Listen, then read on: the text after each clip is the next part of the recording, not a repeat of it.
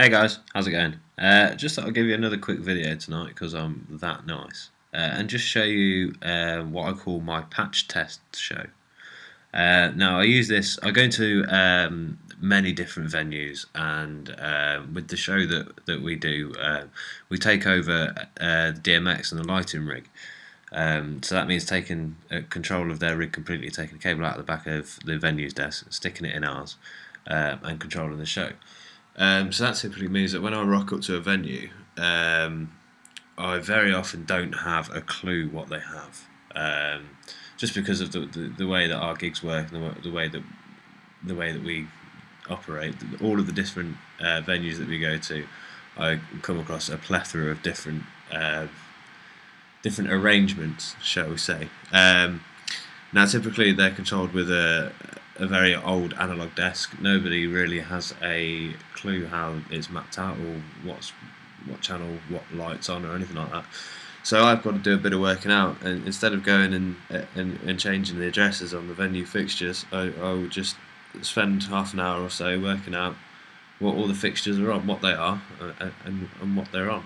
Um, and the way that I do that is quite simple, really. Uh, with the uh, test dongle, we've got control of a, a, a, full universe, for 512 channels. So in this show, there are 512 dimmers. So if you go to patch, 512 generic dimmers, from 1 to 512.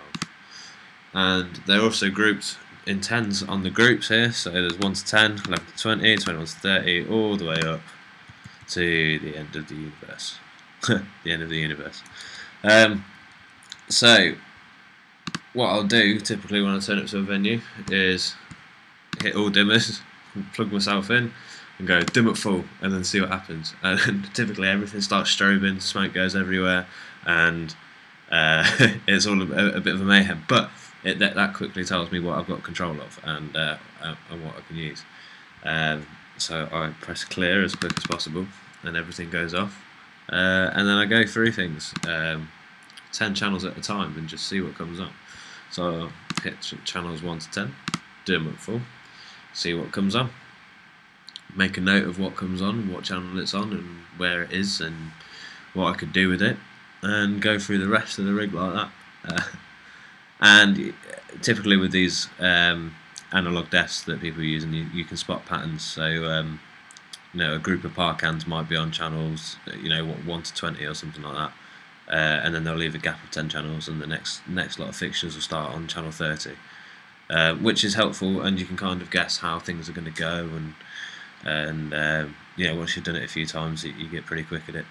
Um, but it's this is a, this is a great program for being able to do that, and this is a great great show for being able to do that. But not only can you do that, you can use use um, use this show to work out uh, say you've got a, a, a, Chinese head, God forbid, uh, and they haven't sent you any DMX information over, and you haven't got a clue what the channels do. You can use this show, plug your DMX test test dongle in, and uh, go through each channel. You can just click on the group, hit intensity, and you can go through each channel and see what each one does just by bringing it up. And that's telling, you know, it's giving a DMX value to each of the channels in the head. And so that's a moving head. Typically, you've got pan pan fine, tilt tilt fine. Um, so if that starts whizzing around, well, you know you're in the right place. Um, and uh, yeah, so I just thought I'd, I'd share that with you. Uh, I found it quite interesting. Uh, I didn't make this. I'd love to be able to take credit for this, but it was a good friend of mine, Chris. He made this and uh, passed the idea on to me, and I thought it was genius. Um, so I hope he doesn't mind. But I'm going to add a download link for this show um, with the show backup file as well um, and you can put it into yours and you can put it into practice. It should be in the description. There's a little gift for y'all. Uh, if you could hit the subscribe button in return, that'd be magic. And uh, keep a lookout for tutorials that I'm doing. And um, the season's just kicking off for me, so I'm sure I've got loads of uh, stories in store. Um, but yeah, take care, guys. I'll see you soon. Bye.